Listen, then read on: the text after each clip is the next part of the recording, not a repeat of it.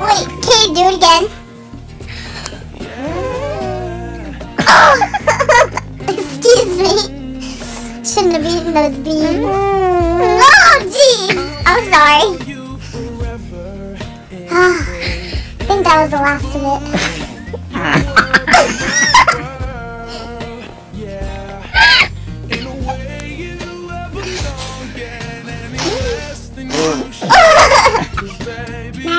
my special buddy, and she always will be. Serena, you are so pretty. Sky is hilarious. Becca is the kind of person that does not have a mean bone in her body. Dana is amazing. Mariah is one of the best people in the world. If you're feeling down, Weenie will always help you. Johnny, you need help. Johnny's. Megan is so nice and so pretty.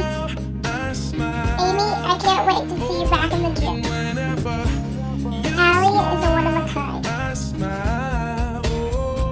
Leanne, there are too many words to describe you.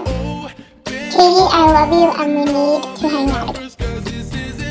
Anna, you shouldn't have quit gymnastics. You're amazing. Savvy, I love you and I'm so happy we're doing cheerleading together. Those are the worst and the best, but we will always love each other. This is what gymnastics has made me. I never can stop flipping, I, I never can stop doing handstands, I'm always doing something. I never can stop moving. Gymnastics is my thing. I was born to be a gymnast. I love my gymnastics career. At gymnastics, we're a big happy family. We're all sisters. We love each other so much. I can't ask for any more. I've gotten what I wanted.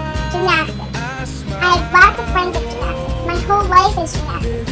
I'm at my gym 24-7. During the summer, I'll be practicing Monday through Friday, four hours a day. Yeah, that might be a lot, but I love it. I get to meet with my friends for four hours.